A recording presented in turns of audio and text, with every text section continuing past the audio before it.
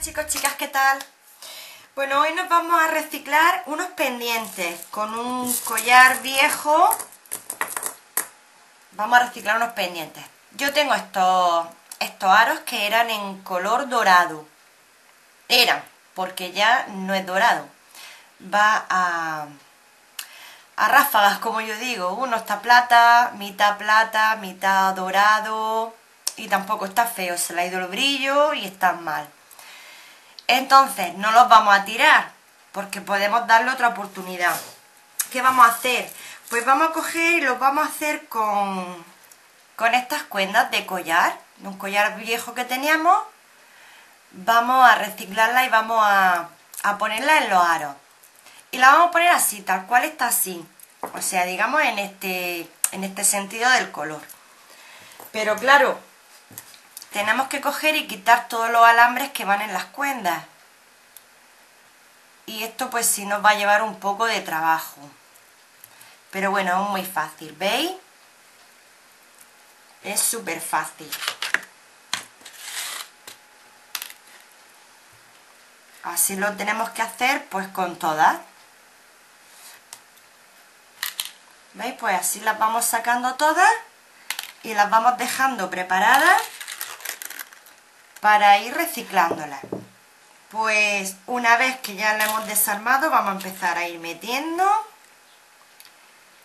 una de cada color. He cambiado esta en cristal por las blancas porque parece que me gusta más la combinación blanco y amarillo. Y ya pues esto es muy sencillo, ir poniendo hasta llenar nuestro aro.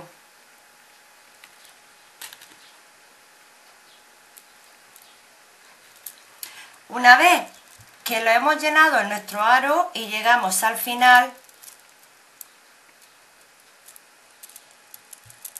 no podemos dejarlo así suelto, porque si no, cada vez que vamos a ponerlo y a quitarlo de nuestra oreja, se nos van a salir todas las bolas.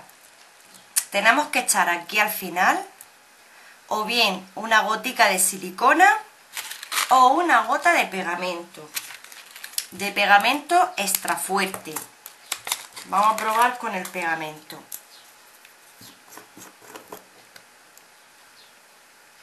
Es simplemente una gota para, para eso, para que no se nos, se nos muevan las bolas. Así. Dejamos secar.